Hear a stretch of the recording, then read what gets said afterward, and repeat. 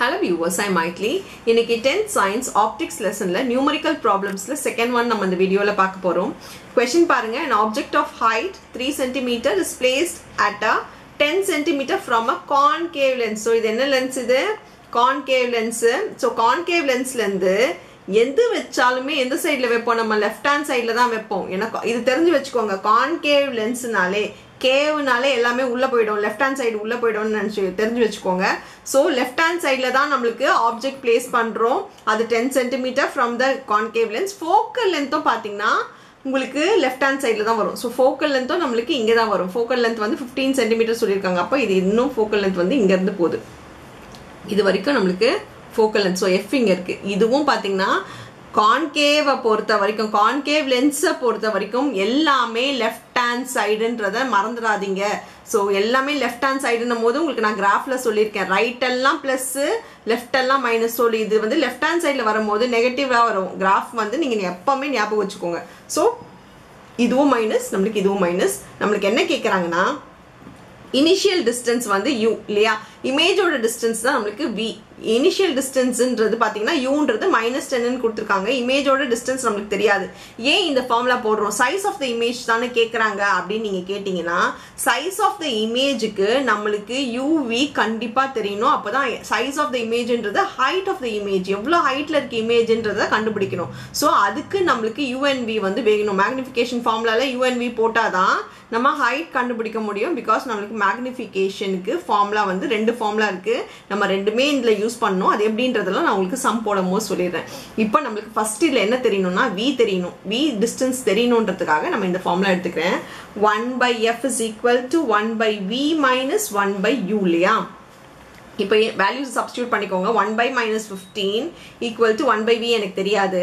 Minus one by minus ten இப்போ இது minus into minus என்ன ஆகிடும்னா ப்ளஸ் ஆகிடுமா ப்ளஸ் ஆகிட்டு இந்த சைடு கொண்டு வந்துருங்க. இந்த சைடு வந்துச்சுன்னா one by minus fifteen minus one by டென்னு ஆகிடும் ஏன்னா இங்கே ப்ளஸ் இருக்குது ப்ளஸ் இந்த சைடு வரும்போது மைனஸ் ஆகிடும் ஸோ ஒன் பை வி இப்போது உங்களுக்கு நீங்கள் இந்த இங்கேயும் கீழே சைன் வச்சுக்காதீங்க. சைனை வந்து மேலே கொண்டு போயிடுங்க. So plus into minus minus ஆகிடும் இப்போ நீங்கள் கிராஸ் எல்சிஎம் எடுக்கணும்னு சொல்லியிருக்கேன். நியூமரேட்டரில் ரெண்டும் மல்டிப்ளை பண்ணிக்கோங்க. டினாமினேட்டர் ரெண்டும் மல்டிப்ளை பண்ணிக்கோங்க. அப்படி பண்ணிங்கன்னா minus ten minus fifteen by இதை மல்டிப்ளை பண்ணால் one fifty equal to one by v இப்போ இதை சால்வ் பண்ணிக்கோங்க.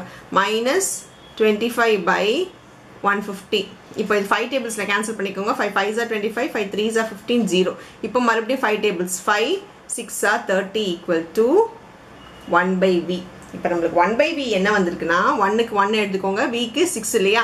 மைனஸ் இருக்கிறதுனால மைனஸ் சிக்ஸ்னு எழுதிக்கோங்க. So v is equal to six centimetre எவ்வளோ டிஸ்டன்ஸில் இருக்குது இமேஜ் சிக்ஸ் சென்டிமீட்டரில் இருக்குது image is equal to six centimetre sorry minus six சென்டிமீட்டரில் இருக்குது ஸோ இமேஜோட நம்மளுக்கு டிஸ்டன்ஸ் வந்துருச்சு. நம்மளுக்கு என்ன தேவைன்னா இப்போ மேக்னிஃபிகேஷன் எவ்வளோ இருக்குன்றத கண்டுபிடிக்கணும். மேக்னிஃபிகேஷனுக்கு ரெண்டு ஃபார்முலா இருக்குது உங்களுக்கு தெரியும். ஆனாலும் நான் இப்போ என்ன போட போகிறேன்னா வி பை யூ இல்லையா? இந்த ஃபார்முலா போட்டு நான் மேக்னிஃபிகேஷன் முதல்ல எவ்வளோன்றதை கண்டுபிடிக்கிறேன். அது ஏன் கண்டுபிடிக்கிறேன்றது இந்த ஃபார்முலா போட்டுட்டு நான் உங்களுக்கு சொல்கிறேன் இப்போ நம்மளுக்கு வி என்னன்னு தெரியும் மைனஸ் சிக்ஸ்ன்னு தெரியும். இது வந்து மைனஸ் டென் இல்லையா? மைனஸ் மைனஸ் நம்மளுக்கு கேன்சல் ஆகிடும் கேன்சல் ஆகிட்டு ஜீரோ இருக்கிறதுனால ஒரு நம்பர் தள்ளி நீங்கள் பாயிண்ட் வைக்கணும். பா பார்த்தீங்கன்னா ஜீரோ பாயிண்ட் சிக்ஸ் இதான் நம்மளோட மேக்னிஃபிகேஷன் மேக்னிஃபிகேஷன் எவ்வளோ வந்திருக்கு?